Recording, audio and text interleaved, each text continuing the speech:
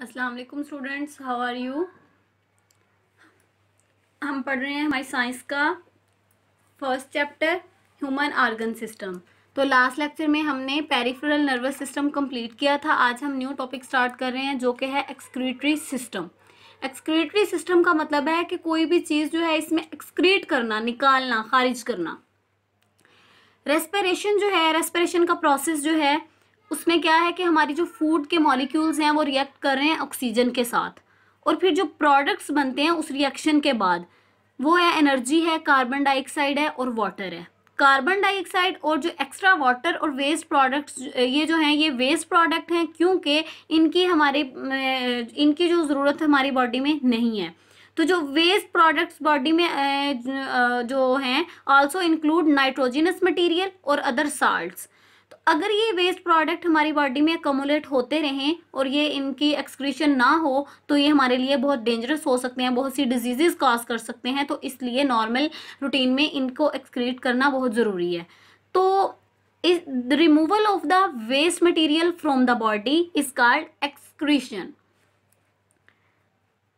carbon dioxide जो है वो हमारी बॉडी से लंग्स के थ्रू जो रिमूव की जाती है और नाइट्रोजनस मटेरियल जो हैं और एक्स्ट्रा वाटर और साल्ट जो हैं वो एक्सक्रीटरी सिस्टम के ज़रिए हमारी बॉडी से रिमूव किए जाते हैं। The system which removes nitrogenous waste from our body is called excretory system अब नाइट्रोजिनस वेस्ट में हमारे पास जो बेसिक जो हैं वो यूरिया और यूरिक एसिड होते हैं।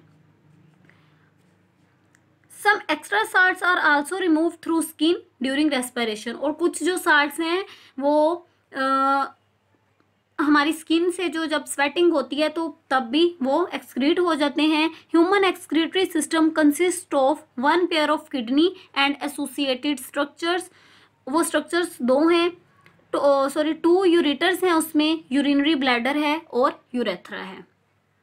तो अब हम पढ़ते हैं किडनी एंड एसोसिएटेड स्ट्रक्चर्स। तो सबसे पहले हम किडनी की बात करते हैं कि किडनी में उसका कलर क्या है, उसकी शेप कैसी है, सरफेस क्या है और लोकेशन क्या है।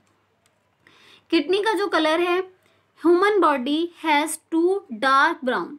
कि उसका कलर जो है वो डार्क ब्राउन है और वो बीन लाइक उसकी शेप है, लोबिया के बीच की तरह। सरफेस जो है उसकी आउटर और इनर। आउटर सरफेस जो है वो कन्वेक्स लाइक है एंड इनर सरफेस जो है वो कंकेव लाइव है। लोकेशन जो है ये हमारे एबडोमिनल पार्ट में पाए जाते हैं यानी पेट में और जो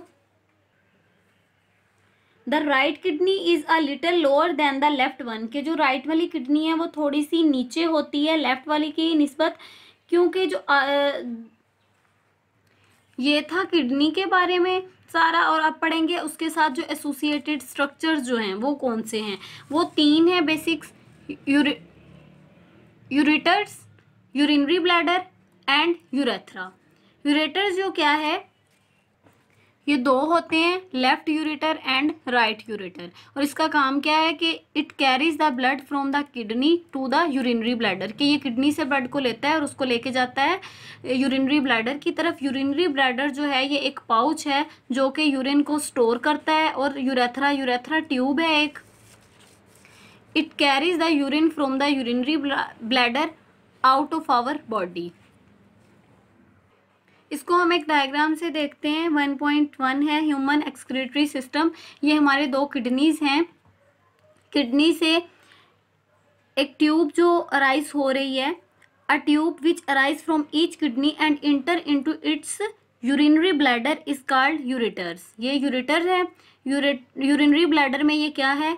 वो यूरिन जो है वो कलेक्ट हो रहा है और फिर यूरेथ्रा से वो एक्सक्रीट हो जाएगा। ये था आ, हमारा आज का टॉपिक कल हम पढ़ेंगे internal structure of kidney and nephron and then function of kidneys अपना ख्याल रखिएगा, अल्लाह हाफिज़।